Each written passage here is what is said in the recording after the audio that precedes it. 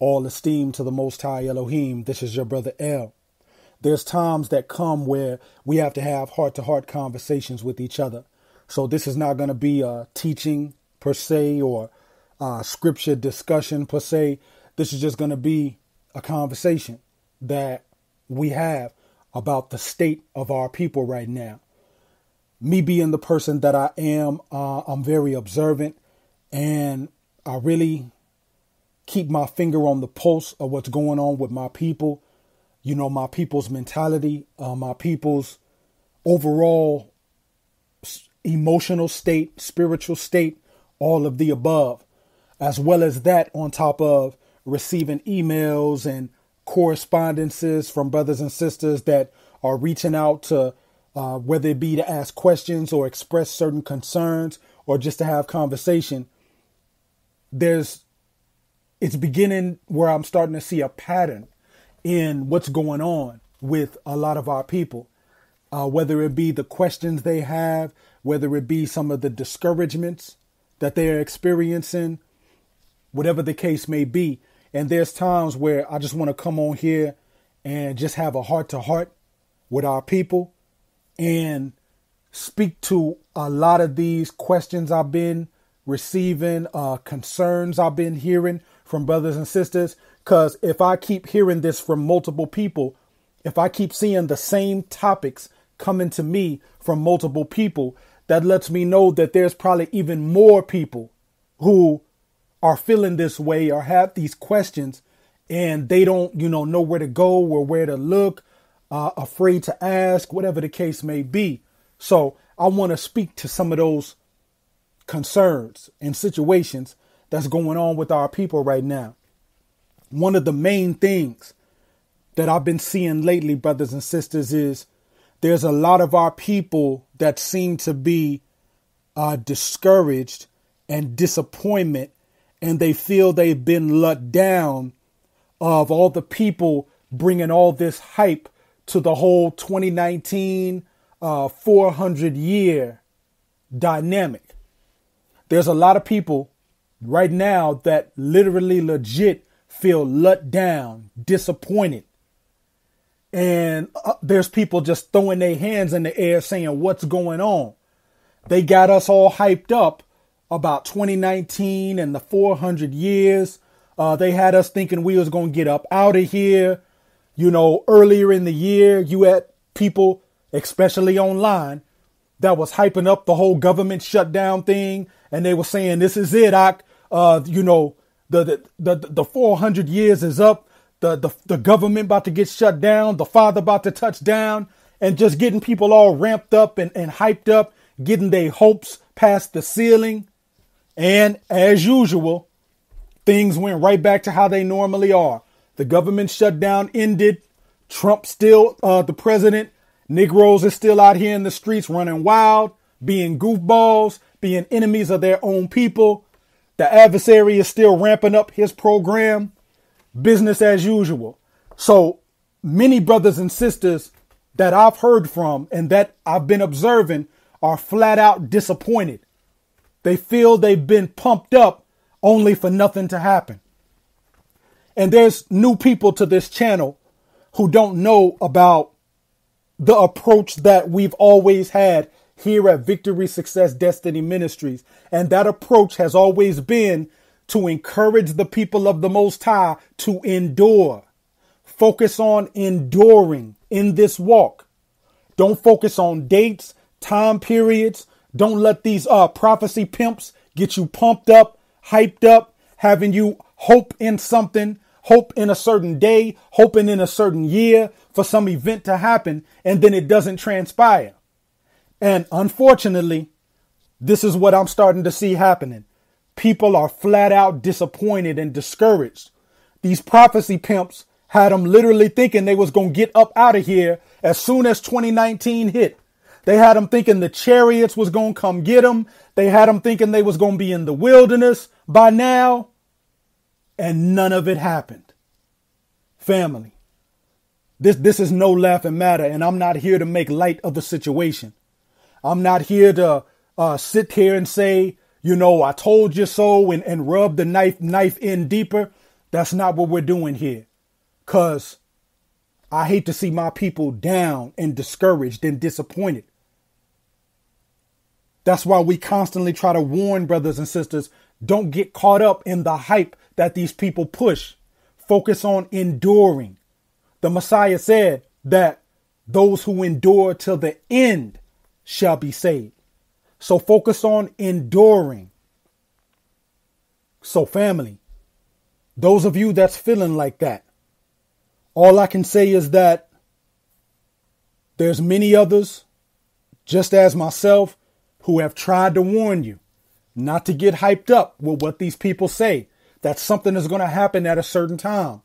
Please, for those who have not checked it out, check out a video in my archive called Beware of the 2019 Prophecies. Last year, around this time, that video was made. And in all humility, I tried to tell brothers and sisters that these people are setting you up for a disappointment, man. And here we go. We got all these brothers and sisters discouraged and disappointed that the deliverance is not happening on the time frame that these people pumped them up for. So, once again, family, focus on endurance. We don't know how long the Messiah will tarry. We don't. So, in these times, we got to stay repented up. We got to keep the commands. And in a natural aspect, we have to position ourselves to be able to provide for our families in the interim while we await the return of the Messiah to set up his kingdom. And this goes back to other talking points that I'm always pushing. I know Negroes won't listen, but I still got to say it so their blood won't be on my hands. In the interim period, while we're waiting on the Messiah to return, the things that we need to be doing are developing skill sets for our survival. Things like learning to grow our own food. Things like knowing how to deal with animals. Things like acquiring land and drawing ever more close to the off grid lifestyle. And here's what it takes in order for us to do that. We have to be able to thrive in this society that we currently in right now. This means learning certain skill sets like computer coding. Because right now, society is transitioning to the digital age. So people who position themselves to run online businesses, learn how to do computer uh, coding and computer programming, since so many things will be run on 5G and IoT and the Internet of Things. It's good to have those skill sets so that you can be an independent contractor and people can pay you for your skill set and you can use those monies that you gain from working by using your skill set to acquire land, to then move to the land, growing food on the land, dealing with animals on the land. Because, like I said, we don't know how long it will be before the Messiah returns, but little by little, with the advent of artificial intelligence and with the ever widening gap of the haves and the have nots, you want to already be in position to not need the system by the time the Father decides to destroy the system. You want to already be in position where you know how to thrive and survive in the wilderness. And in, in many cases, in order to get in that position, you have to know how to thrive within the society in the current times. And in the current times, the things I'm talking about, about us acquiring skill sets and being owners, owning our own business, using our skill sets to get monies for ourselves by people paying us when we perform our skill set and craft, that will be how we can slowly transition to needing the system less and less. And I know, brothers and sisters, that doesn't happen in one day or even one year.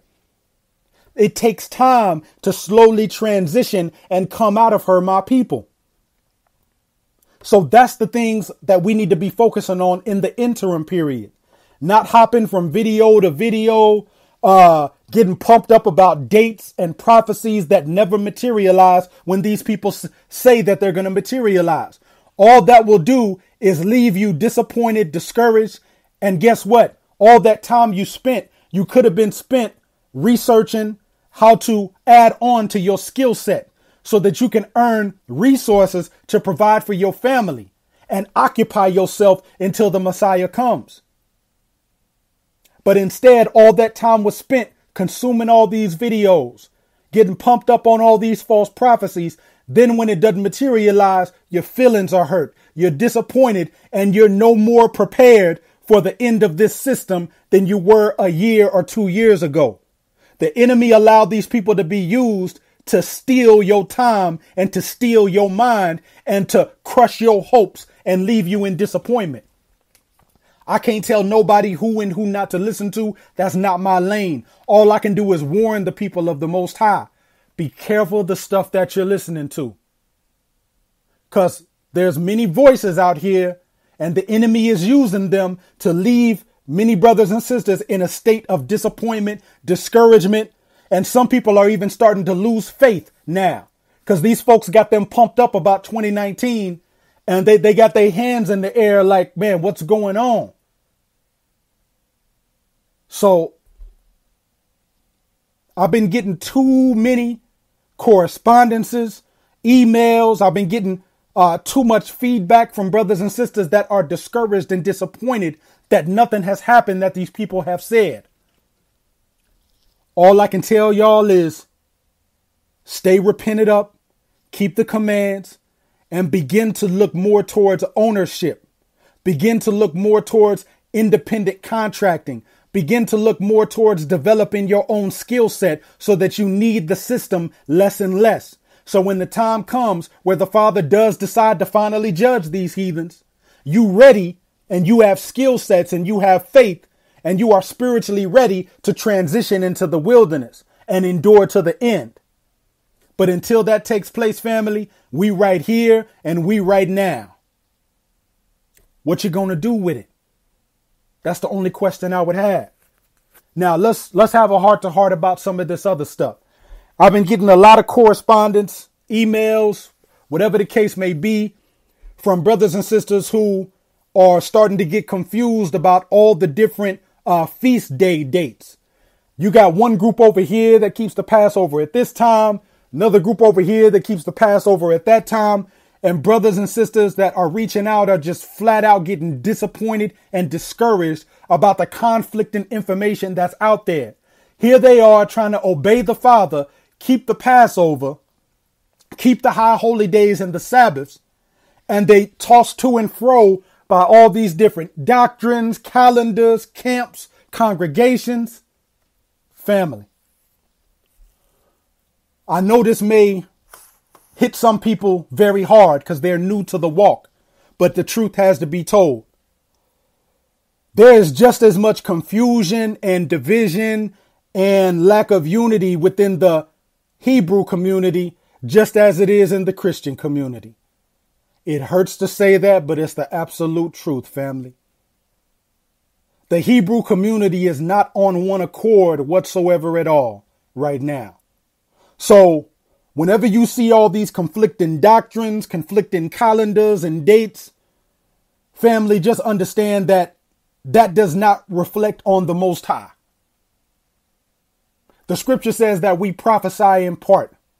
We have not had our total regathering yet yeah, there, there are some people that are deliberately deceiving the people, but there are others that are doing the best with the information that they have. So, what I'm not going to do is get into saying, no, you need to keep it this date, or no, you need to keep it that date, or no, you don't need to be keeping it then. What I will say, family, is study to show yourself approved. Take a look at Leviticus 23. Study up on the book of Enoch. Do your own independent study to seek out the answers to those questions.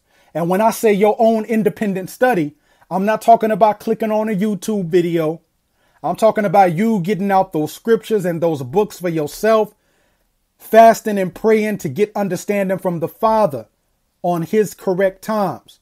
And forgive other brothers and sisters for them not having the answers on certain things.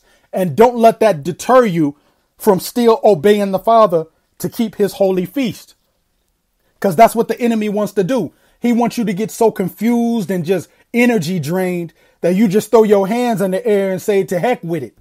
I mean, you you it's too many conflicting information. I can't keep these feast days. This is too much. That's what the enemy wants you to feel like, family. He wants you to get overwhelmed. He wants that spirit of anxiety and just being overwhelmed. So eventually he just wants you to say, man, to hell with the whole thing, man. That's what he wants you to do. So, family, do not allow all the conflicting doctrines and feast day dates and all that stuff deter you. Keep the feast. Keep the high holy day. Obey the Most High. Hallelujah. Because no matter what date that you keep it on, it's going to be some Negro that comes along later saying that's the wrong date. You're not keeping it at the right time. It's better you keep the feast than you don't.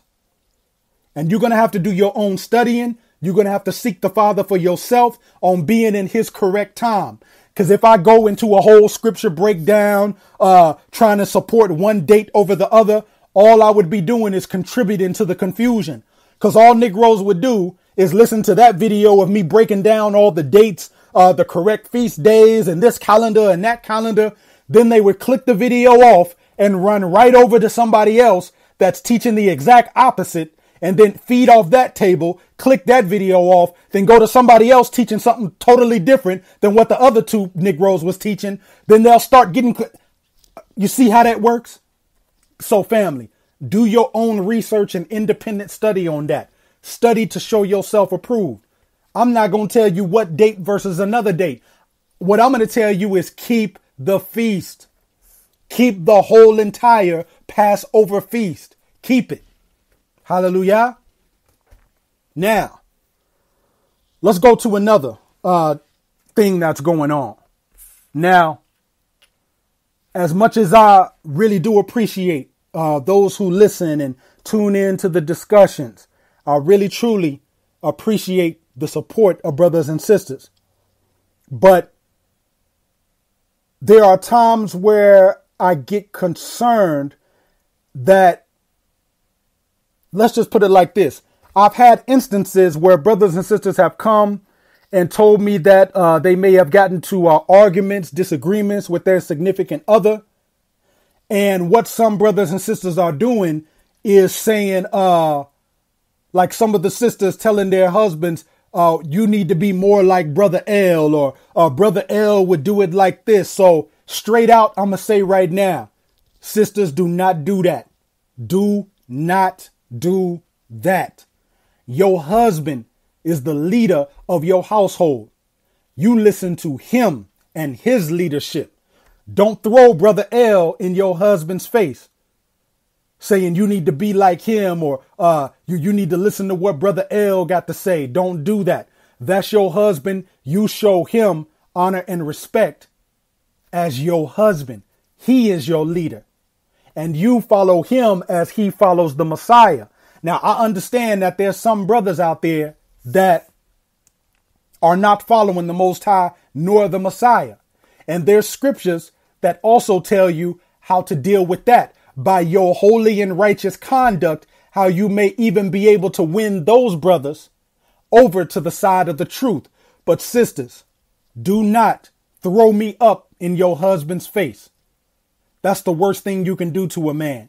Because essentially, what you're doing with that is trying to make him feel like he's in competition. He is not in competition at all. He is your leader. Follow him as he follows Messiah. Look, I'm here so brothers and sisters can have successful marriages, successful families, successful Hebrew family units and tribes. I'm not here to be splitting nobody up. So whatever arguments and disagreements is going on, keep brother El out of it. Keep me out of it. Don't use my name to uh, try to win an argument against your significant other or try to make somebody feel like they not measuring up. Cause look, I'm not even measuring up to the Messiah. I haven't measured up to my king. So don't this is just for the sisters so far. Don't be uh, bringing up my name to your husbands like that when I haven't even measured up to the Messiah yet. if you're going to do anything, bring up the Messiah to that brother, to your husband. Use the Messiah as the measuring rod. Encourage your husband to reach the measuring rod of the Messiah. That's who we striving to be like. Hallelujah. The Messiah. And likewise with the brothers. Don't try to uh, make your wives feel low saying, uh, why can't you be like Sister Mercy? Or, you know, bringing up my wife's name saying you need to be more like Sister Mercy or uh, li- listen to this and see how, you know, you need to be like Sister Mercy. Don't do that either, family. Please, please. The example that you need to be looking to is the Most High, the Messiah, and be led by the Holy Spirit. Yes, that, that, there's nothing wrong with us having people that we look at as examples that give us inspiration and motivation to get to a certain place in a walk. That's fine, but never let it get to the place where you're using somebody's name to win an argument or using somebody's name to try to make somebody somebody feel low about themselves. Don't do that, family. Don't do that. That right there is what causes drama inside households.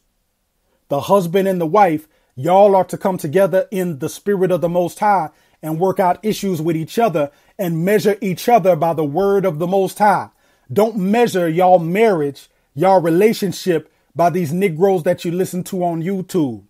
Don't measure y'all marriage or even your personal walk with the Most High by the Negroes you see on Instagram and Facebook and all that, you know, they look like everything's so perfect. They got their long, nice, colorful Hebrew robe with the fringes. They got their uh they got their head covering on. You know that they speak perfect Hebrew. They got the big old long Hebrew name. Got all the little children in the picture. They got on they uh all white Hebrew robes with the fringes and all that. And everything's just seems so perfectly Hebrew, don't it?